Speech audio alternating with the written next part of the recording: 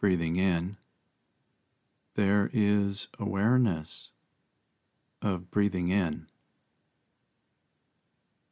Breathing out, there is awareness of breathing out.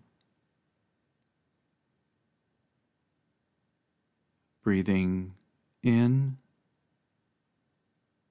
breathing out.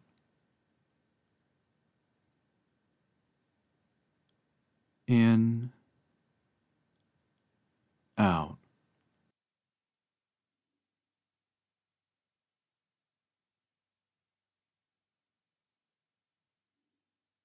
Insufferable behaviors, intentions and motivations, Part 2.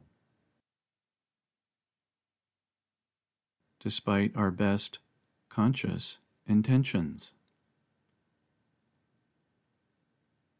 Although many of us may carefully or even mindfully nurture our conscious intentions to satisfy various wants, desires, and goals, nevertheless, conflict, upset, and suffering are entirely possible, if not virtually guaranteed, should one or more subpersonalities possess and willfully want to express their intentions to satisfy perhaps far different wants desires, and goals altogether.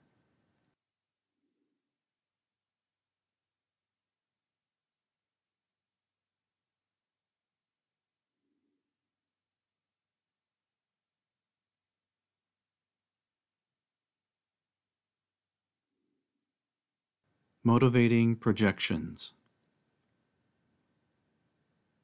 Should any of us attempt to figure out what exactly motivates others to cause or otherwise trigger hurt or harm to or within us, we would almost exclusively do so from our reality perspectives, which may only reflect our conditioning and experiences rather than necessarily those of the one causing or triggering, not to mention insufferable misinterpretations and misunderstandings as well as assumptions that invariably lead to far more suffering than is necessary or warranted.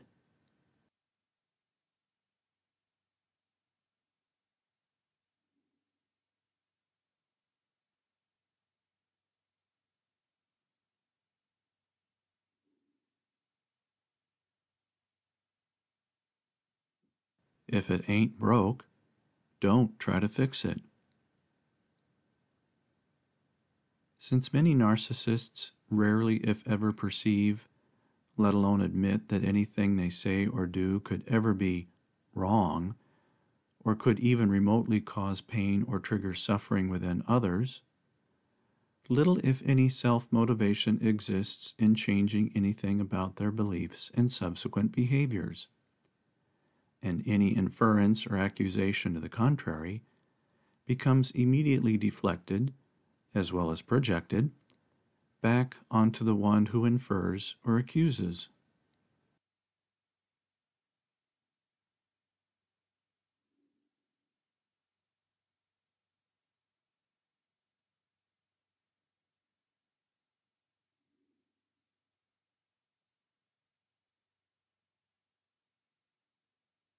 The Law of Good Intentions.